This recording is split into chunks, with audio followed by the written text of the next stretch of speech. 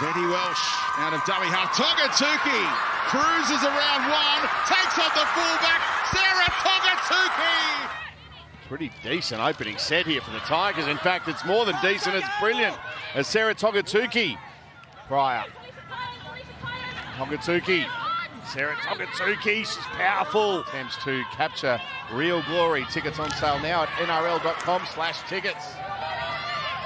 Sumbale to, oh, good run, Togatuki. Splits them up the middle, gets away from Goldthorpe, tries to get away from Dib. Jakaya and Arakia causing problems for the Dragons' defence. Togatuki always does. Still going, Sarah.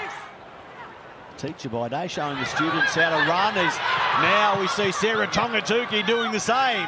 Good defence from the Roosters winger. Sarah goals.